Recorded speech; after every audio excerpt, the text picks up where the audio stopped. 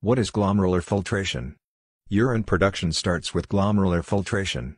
It is the procedure your kidneys utilize to filter extra fluid and waste from your blood into the kidneys' urine collecting tubules, allowing your body to discard them. Now, why our bodies make urine?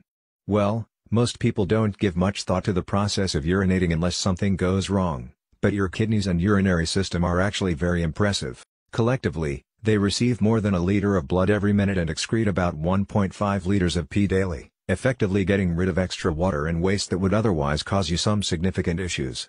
Your body metabolizes, processes, the food and liquids you consume to create energy as well as the many building blocks required to maintain the health of your tissues and organs.